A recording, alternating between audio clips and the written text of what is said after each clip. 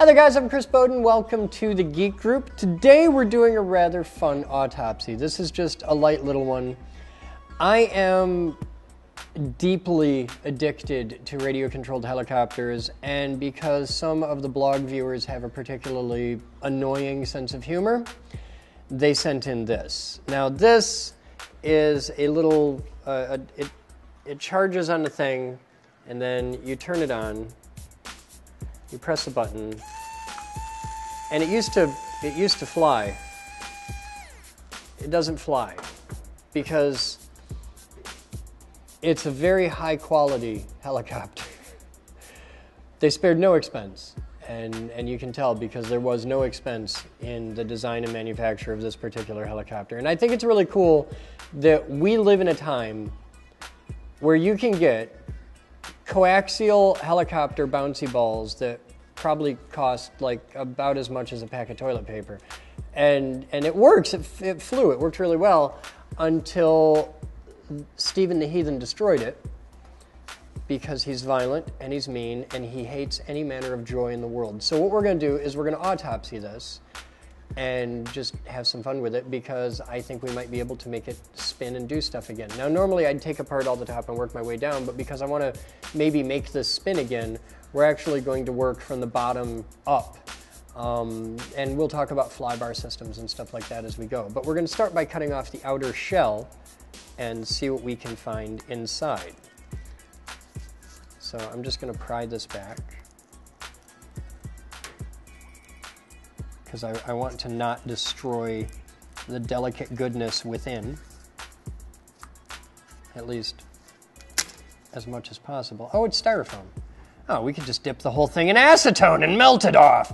Uh, what do we got here? We've got, you can see, that's our battery. There's a motor and a gear drive, and the motor's probably just become disengaged from the gear drive. And then we've got a simple circuit board here. So we're going to keep digging down and see what else we can see. Okay, so we'll get rid of the shell. We don't need that. Now, just cute little LiPo battery. The, uh, the battery is 70 milliamp hours, 3.7 volts. It's cute. And I think I've found our problem. Either the motor is pushed up or the gear train is pushed out.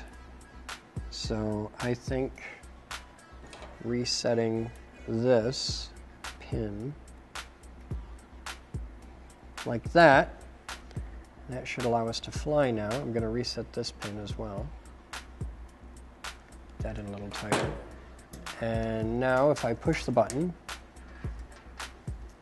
and hold that clear, turn it on. Well, it's moving. So that's that's progress. I think I made them too tight. Let's try that again.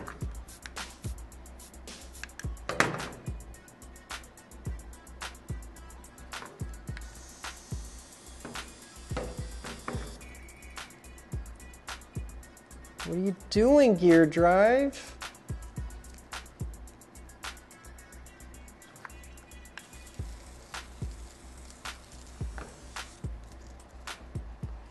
It's all it's all gunged up now.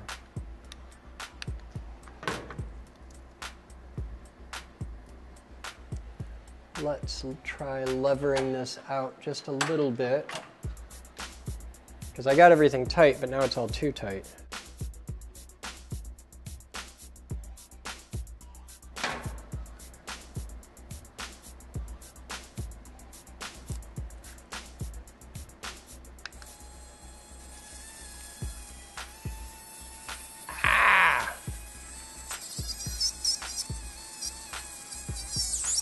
Nope, it's screwed.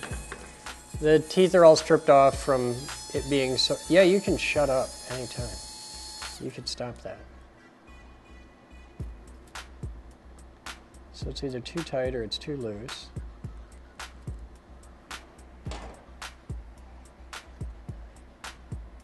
This is this is high quality manufacturing here.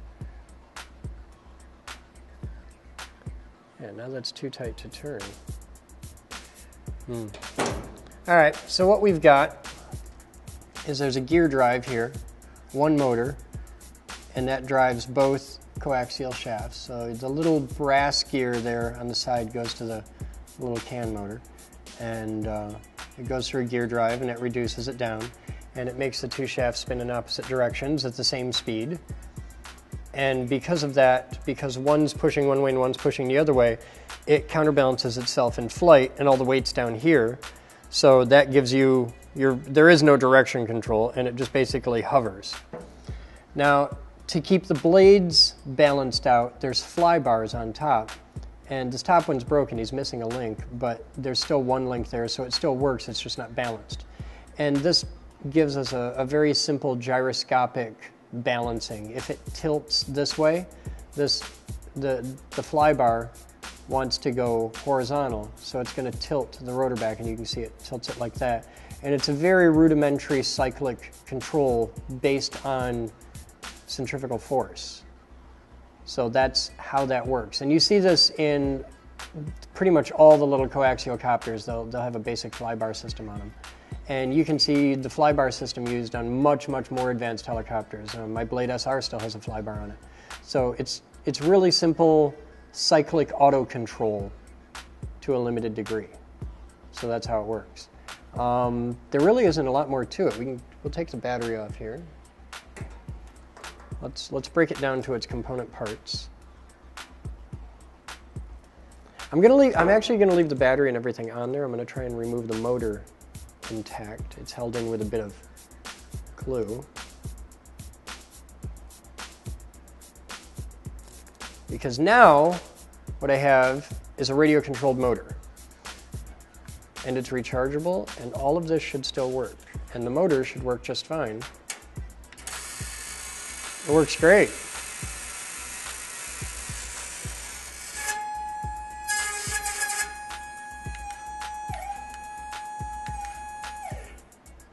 So that works. And the little sensor still works.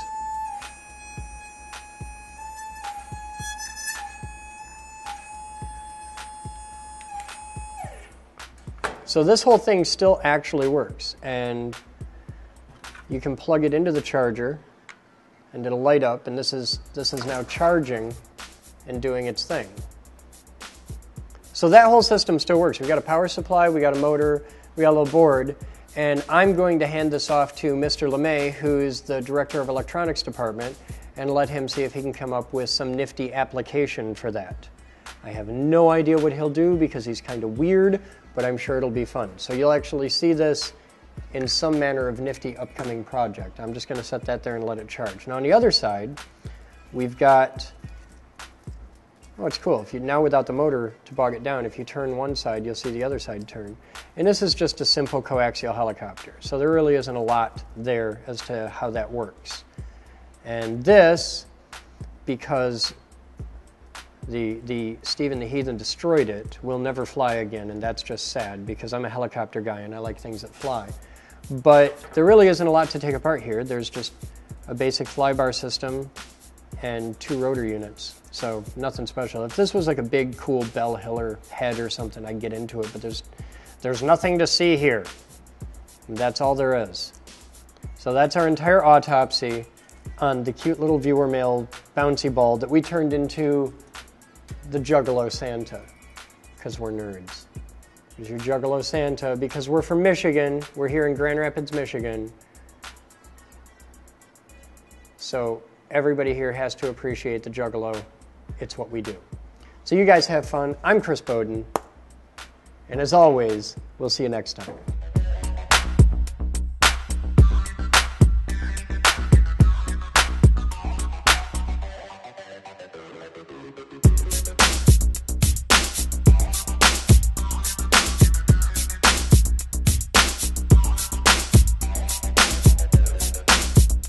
This video was made possible by a grant from the Future Girl Foundation. This video was made possible by thousands of private donations from members and viewers like you. Please visit thegeekgroup.org for more information on how you can donate and become a part of our dreams of Avalon.